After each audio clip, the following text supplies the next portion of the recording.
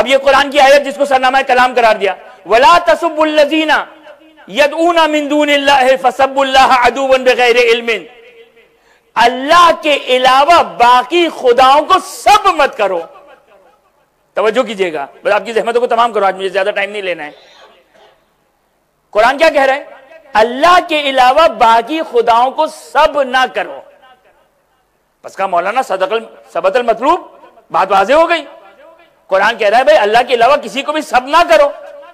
अल्लाह तो वाजे है, अल्लाह, यानी बाकी जो खुदा हैं, लोग जो बाकी खुदाओं को पुकारते उनको सब मत करो। तो कुरान कह रहा है सब मत करो। तो आपकी खिदमत में शुरू मैंने एक जुमला कहा था, क्या जुमला कहा था? कि कुरान की इस आयत से तमस्सुक करना, कुरान की इस आयत को लेकर आना ऐसा ही है, जैसे कोई कहे कि, वला तकरबु सलात। कुरान कह रहा है, नमाज़ के करीब मत जाना। नहीं, पूरी आयत को पढ़िए। कुरान कह रहा है, वला तकरबु सला व अंतुम सुकारा। जब तुम हालत नशे में हो तो नमाज़ के करीब ना जाना। यह भी आयत यही कह रही है। तवज्जो कीजिएगा। अब देखिए, मैं फिकी और इश्तेहादी गुफ्तगु नहीं करना चाहता कि ये जो आयत है, वला तसुबुल्लजीना ये कुरान कह रहा है कि उनके खुदाओं को गाली मत दो, सब मत करो। ये ऐसा नहीं है। बल्कि दर हकीकत इसके पीछे एक फलसफा है कि खुद उस फलसफे को कुरान बयान कर रहा है। वला तसुबुल्लजीना यदूना मिंदून है अल्लाह के अलावा बाकी खुदाओं को सब ना करो। क्यों? फसबुल्लाह अदुवन बगैर इल्मिन।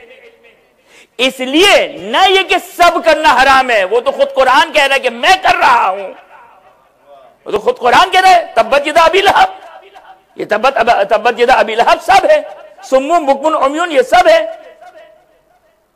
कुरान कहता है सऊतुल हमीर, अगर मैं इश्तबा ना करूँ, कि उनकी आवाज़, अब मैं लफ्ज, फिर लफ्ज कहूँगा तो मुमकिन मौलाना एक मेंबर की शान के मुताबिक नहीं मैं कुरान का तर्जुमा करूँ या ना करूँ। गधे की आवाज़ की तरह है। ये सब है। ये क्या है ये? ये सब है। कुरान कहता है वो हैवान है, बल्कि हैवान से बदतर है। ये क्या है? सब है। अब जाए मेरे बच्चे और जवान, कुरान के और गर्दानी करें और उसमें से देखिए, कुरान ने कहाँ का सब इस्तेमाल किया है। सब इस्तेमाल किया है। अब कुरान खुद कह रहा है कि दूसरों के खुदाओं को सब ना करो। नहीं। ये आयत कंडीशन के साथ है। विदाउट कंडीशन नहीं कह रही है। ये कंडीशन के साथ है। अल्लाह के अलावा बाकी खुदाओं को सब ना करो। और रिवायतों में इसकी इंप्लीमेंटेशन खुद आयमा ने अपने बारे में की है। किस तरह आपकी खिदमत में अर्ज़ करता हूँ मैं। कि कुरान क्या कह रहे हैं? कुरान कह रहा है कि अल्लाह के अलावा बाकी खुदाओं को सब ना करो। अल्लाह के अलावा बाकी खुदाओं को सब ना करो। क्यों? इसलिए कि वो दुश्मनी की बिना पर। इल्म ना होने की वजह से, मारिफत ना होने की वजह से वो उसके नतीजे में अल्लाह को सब करते हैं। पर सब विदाउट कंडीशन ऐसा नहीं कि हराम है, बल्कि इस कंडीशन से हराम है कि अगर सब करने से गैर खुदा को सब करने से अगर अल्लाह को सब किया जा रहा हो तो वहाँ पे सब करना हराम हो सकता है। बड़ी एहतियात से मैंने ये बात कही है। हराम हो सकता है। अब कोई ज़्यादा अगर इससे ज़्यादा अगर मालूम लेना चाहे तो मुझसे बाद में पूछे कि मैंने हो सकता है कि लफ्ज क्यों इस्तेमाल किया। लेकिन बहरहाल, तवज्जो की आपने कि सब उस वक्त हराम है कि आपके सब करने की वजह से कोई अल्लाह को सब करे। इसी वजह से मासूम ने कहा कि हमें सब, हमारे दुश्मनों को सब ना करना। तवज्जो करें।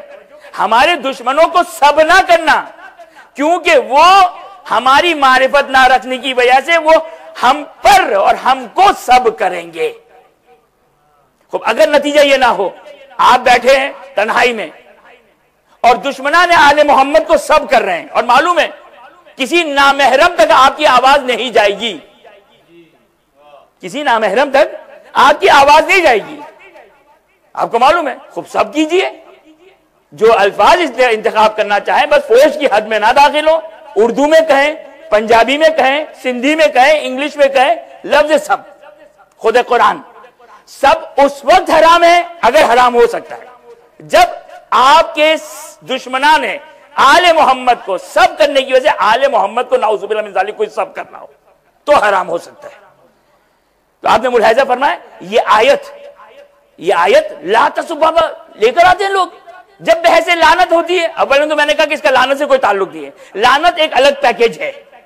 लानत को एक अलग साइड पे किया हुआ है। 49 टाइम्स लफ्ज लानत को कुरान ने इस्तेमाल किया है। लफ्ज सब। और हमारे ये व्हाइट कॉलर ये व्हाइट कॉलर से मुराद, मेरा भी व्हाइट कॉलर है। व्हाइट कॉलर से मुराद, ये इस इस सेंस में व्हाइट कॉलर कि, जो ये कहते हैं, भाई हम अपनी जबान को क्यों खराब करें? हम अपने आप को कुरान से ज़्यादा पाक समझते हैं। हम आले मोहम्मद से ज़्यादा हमारी हमारी शान में तो पता नहीं कौन सी आयत तथीर नाजिल हुई। हम किसी को बुरा नहीं कहेंगे। तो आपने मुलाहजा फरमाया कि ये कौन सा दीन है? यानी हम आले मोहम्मद से ज़्यादा पाको पाकिजा? नहीं, याद रखिएगा, जब तक दुश्मना ने जिस तरह बाकी खुदाओं से बारात के बगैर तोहीद मुकम्मल नहीं हो सकती। इसी तरह दुश्मना ने आल मोहम्मद से बरात किए बगैर ईमान मुकम्मल नहीं हो सकता है। ये टू प्लस टू फोर है।